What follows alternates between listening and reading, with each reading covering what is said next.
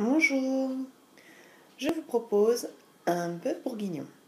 Donc, pour le faire, il vous faut 500 g de viande, 75 centilitres de vin rouge, une boîte de champignons de Paris, deux oignons. Il vous faut aussi une ail, 3 cuillères à soupe d'huile ou 50 g de beurre, 2 cuillères à soupe de farine on va commencer dans un faitout à mettre à roussir la viande.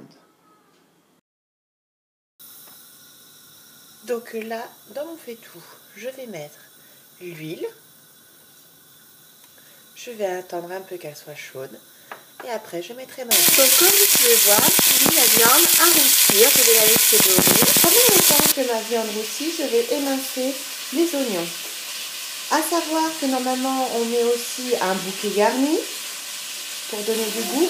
Et moi je mets un cube d'herbe. J'ai émincé les oignons, je vais les mettre à fondre avec la viande qui a déjà bien doré. Donc là on laisse fondre nos oignons.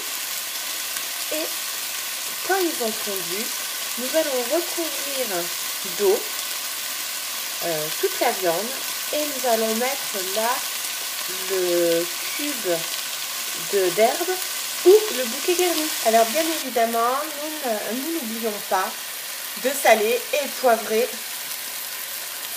Donc on sale bien, on poivre bien. Ça donne du goût.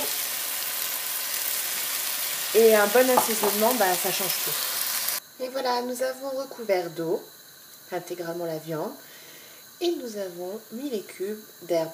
Alors, on va laisser tout évaporer l'eau et après nous mettrons le vin. La notre viande a bien doré, nous allons mettre les deux cuillères à soupe de farine. Quand ce sera fait, nous allons mettre l'ail et les petits champignons et nous allons recouvrir de vin. Donc là, nous avons mis la farine, on met les champignons et j'ai personnellement, on n'aime pas trop l'ail donc j'ai juste écrasé ma gousse d'ail, comme ça je pourrais l'enlever. Donc on met comme ça et on recouvre de vin. Donc là nous avons recouvert du vin. Nous allons laisser mijoter pendant au moins deux heures. Et bien sûr tout ça à feu doux, normal.